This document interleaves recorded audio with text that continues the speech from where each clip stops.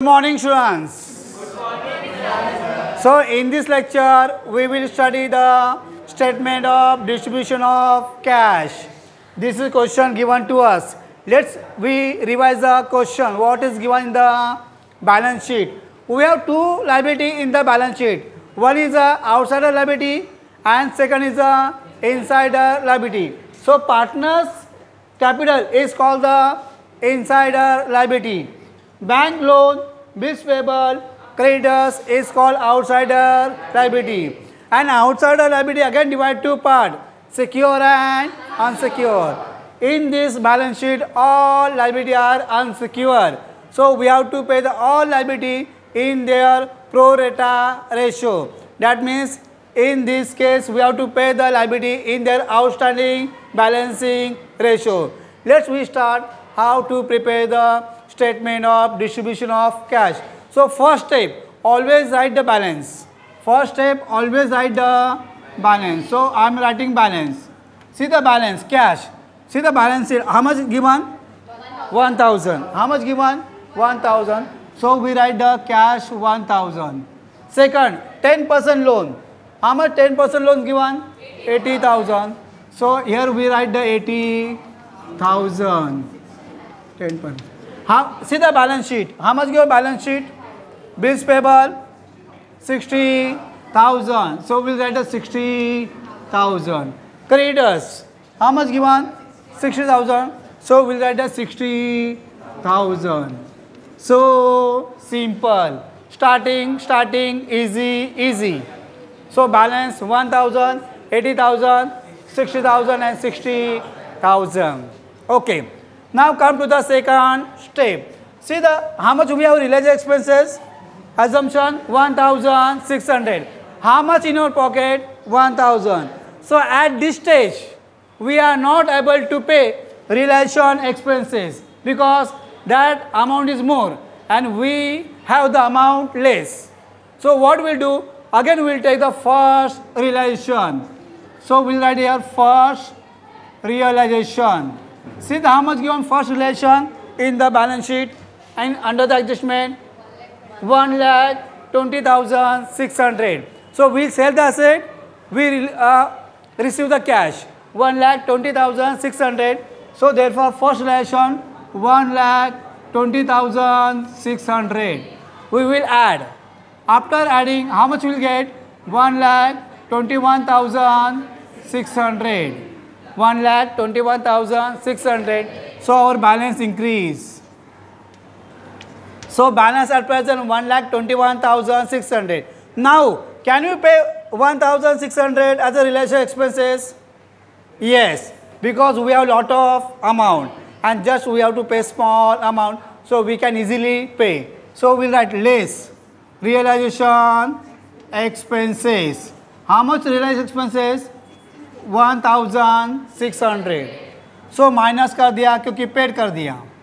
So how much balance remaining one lakh twenty thousand that is our balance got this first step this is our first step we have to pay relation expenses second we have to pay government dues government tax but in this case government dues and government tax is not given so there is no need to pay what is given that you have to pay. What is not given?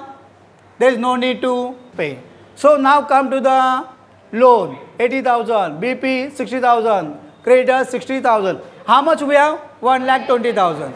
Now we have to see the total हम लोग कितना payment करना है सो so, total मिला के loan कितना है eighty thousand bills payable कितना है sixty thousand so sixty plus eighty one lakh forty one lakh forty plus sixty very good So we have to pay how much? 2 lakhs.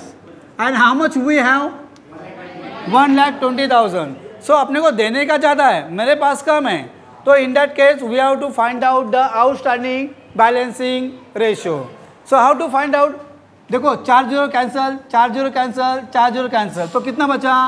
Eight six six again shortcut two three ज़ा two three ज़ा and two four ज़ा so this is called the outstanding balancing ratio because we have less amount and we have to pay more amount. So in this case thoda loan, thoda bills payable thoda creditors so this 1 lakh 20000 should be divided 4 is to 3 is to 3 so 4 plus 3 7 7 plus 3 10 so 1 lakh 20000 divided by 10 यहाँ पे लिखो 1 lakh 20000 divided by 10 तो कितना मिलेगा?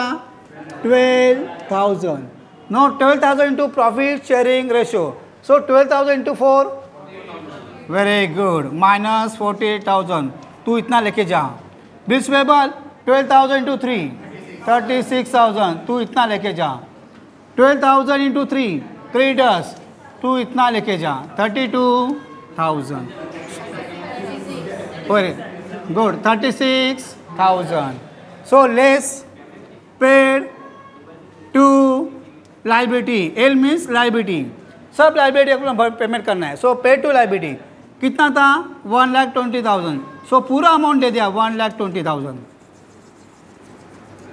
one lakh twenty thousand दे दिया. जितना था उतना दे दिया. अभी मेरे पास कुछ बचा क्या? नहीं that is nil so loan eighty thousand we pay you forty thousand still outstanding balance कितना बाकी है?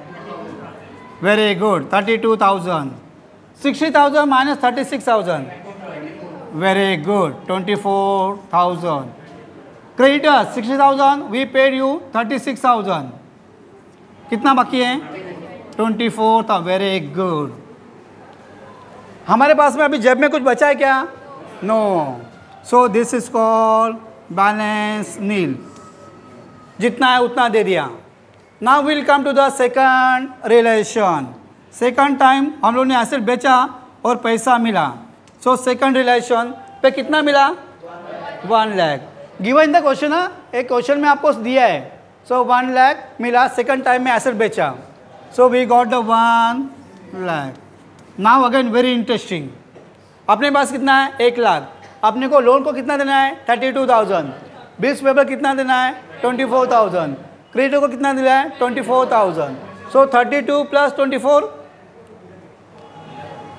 fifty four fifty four plus twenty four कितना? Eighty thousand very good so तीनों मिलाकर एटी थाउज़ेंड देना है। मेरे जेब में कितना है? One lakh so can I pay full amount to the loan very good can I pay full amount to B P very good can I pay full amount to the why we are able to full amount? Because very good. Outstanding liability are less and we have more. अपने पास एक लाख है और देना के कितना eighty. So in that case there is no need to find out any ratio so I will pay to less यहाँ पे less हाँ? Pay to liability pay to liability कितना पेमेंट करना है अपने को? एटी थाउज़ेंड ये एटी थाउज़ेंड कैसे मिला? Thirty two plus twenty four plus twenty four so full amount लेके जा। हु बैंक लोन फुल अमाउंट लेके जा। बिल्स पेबल फुल अमाउंट लेके जा। Creditors now how much balance so balance कितना बचा? ट्वेंटी थाउज़ेंड वेरी गुड यहाँ पे कितना बचा? नील यहाँ पे कितना बचा? नील यहाँ पे कितना बचा? Nil so still we have balance कितना बैलेंस है? Twenty thousand.